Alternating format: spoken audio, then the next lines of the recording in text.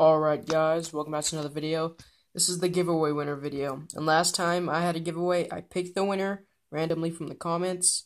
I mean, I don't think I knew anyone there. I probably knew someone, but I don't think I picked them. Um, but this time I'm actually going to be using an actual website. And it's, I typed in all your names, it's like 13 people. Um, I did get 12 likes, so someone's missing. Someone's missing a like in here.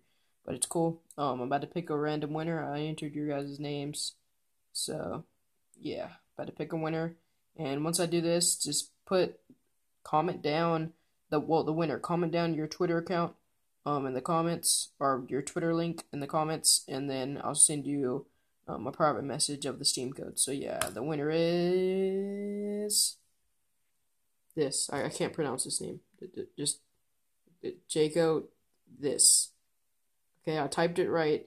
It had some it had some little some little things up here that that I don't I don't know how to put. But yeah, you're the winner.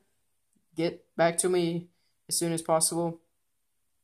Uh yeah, just put your Twitter account in the description of this video.